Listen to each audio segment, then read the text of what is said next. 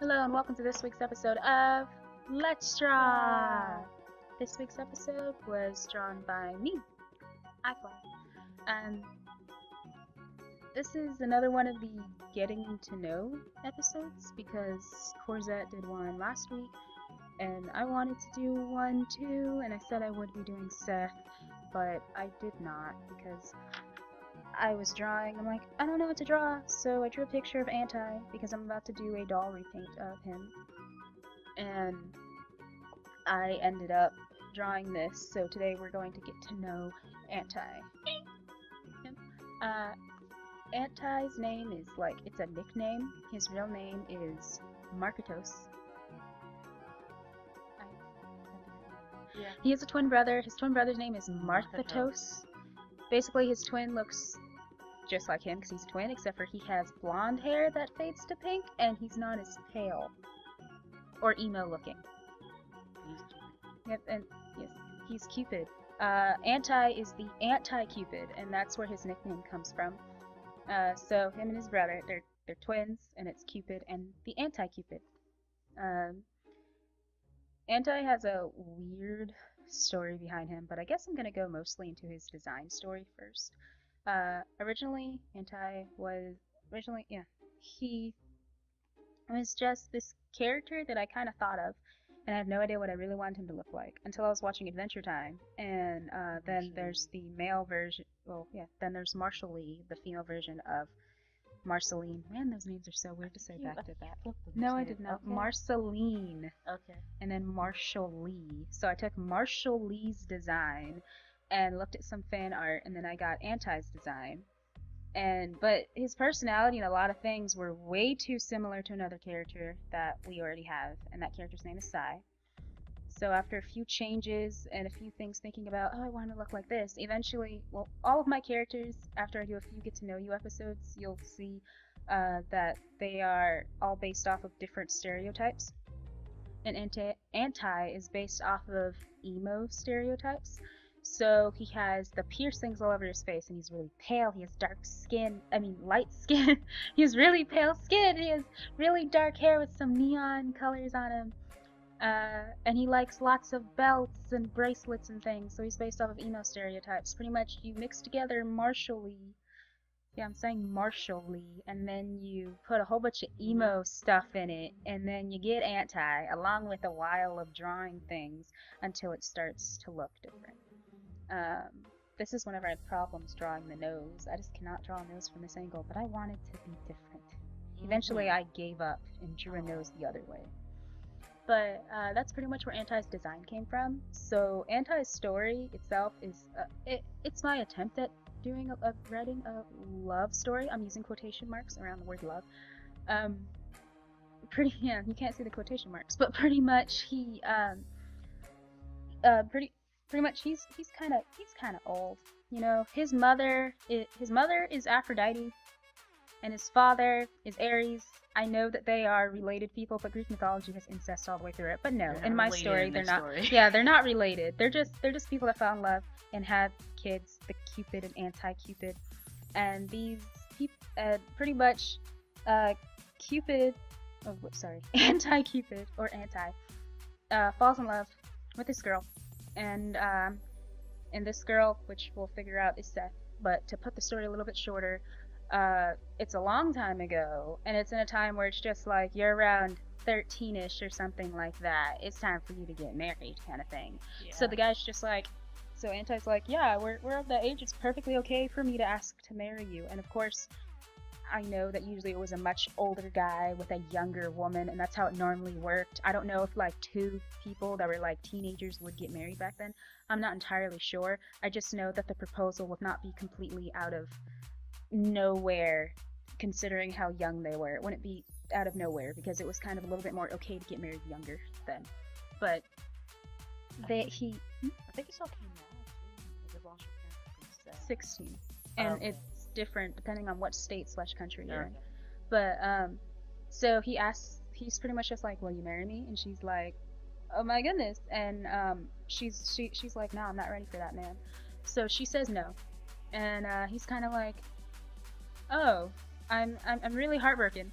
And along with him being the anti-cupid his uh, he accidentally curses her, and uh, so she's basically now at this point incapable of love until she can admit that she truly loves him, and he and pretty much that went really bad. The uh, girl's family was just like, nope, Nah, nah. So they uh, they sealed him away for like years and years and years.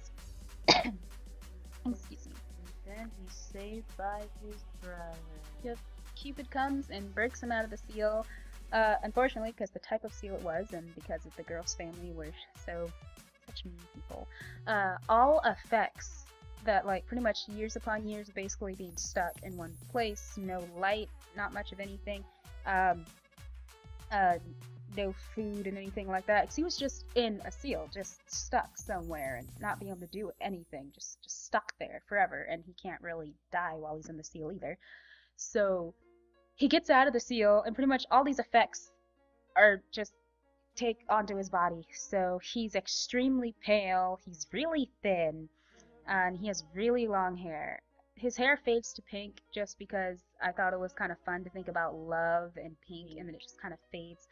So they so he has all those effects, and that's why Anti's such a thin, pale guy. And also it works on the um, emo aspect of him, going, oh, it's a really pale, pale, skinny guy, and he's emo. And you're like, yeah, that it totally works out. Also, you you should explain what a um, anti-cupid is in your story and what a cupid is in your story. Oh, uh, there, uh, there's only one Cupid and there's only one anti-Cupid. Though there are people that Work do for- s- work work for them, and they are called love ninjas or or loathe Loathe ninjas. um, so pretty much the main people, Cupid and anti-Cupid, do exactly what it sounds like. Cupid can pretty much shoot the little arrows or things and influence people, so people can naturally find the, True their true loves. And anti can do the same thing, but the opposite: uh, break people up They are and force they're not true loves and force them to find their differences. Uh, their abilities cannot break what is um, what would be considered as a soulmate, person that you were meant to be with. So if you like if you're with this person and it's been like great and beautiful, so you guys are not soulmates, Anti-Cupid could break you guys up even though there's nothing really keeping you guys apart. He could do something to point out flaws in you guys and make you guys suddenly go, "Oh, I I realize maybe I'm not meant to be with this person." And then Cupid can kind of change your path and make sure you'll end up with the person you were meant to be with.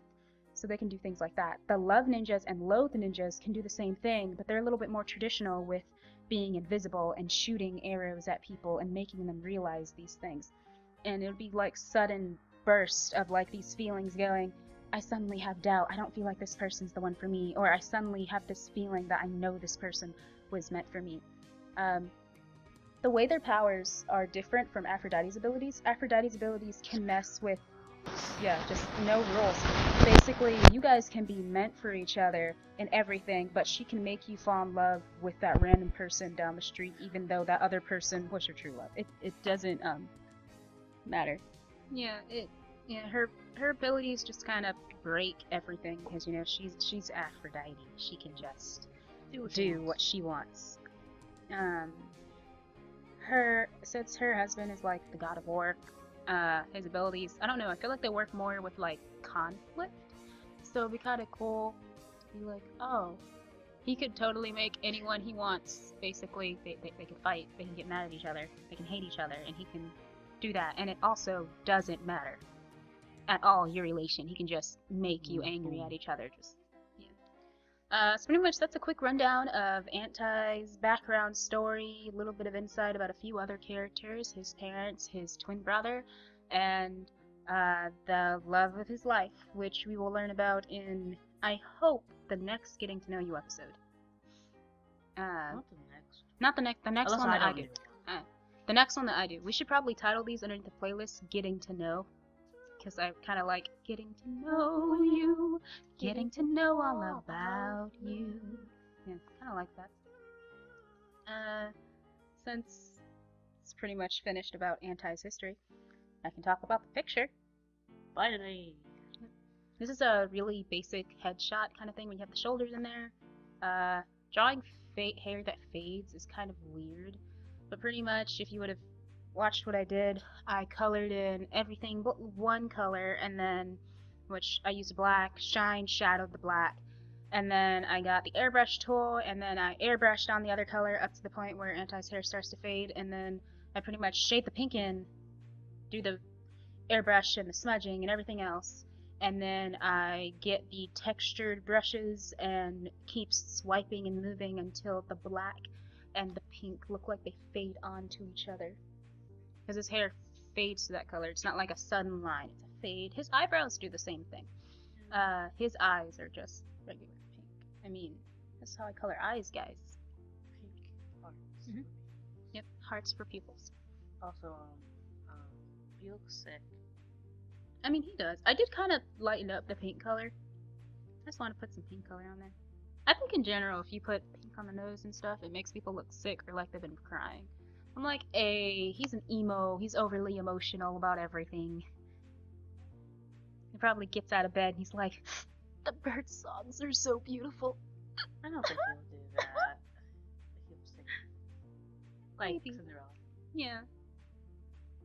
And then I also gave it a little bit of a blur effect to some areas, make the eyes look like they're glowing. I just like when eyes look like they're glowing.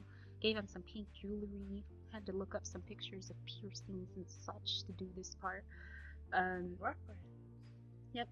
reference. Yeah.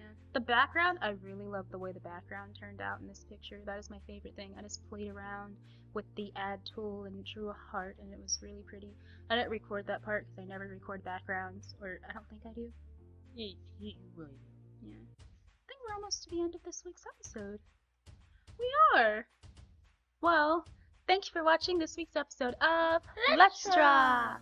Please remember to like and subscribe, or else I'll send the anti-cupid after you. Well, at there in the family that's a good thing. See, I'm helping you this week. Bye bye.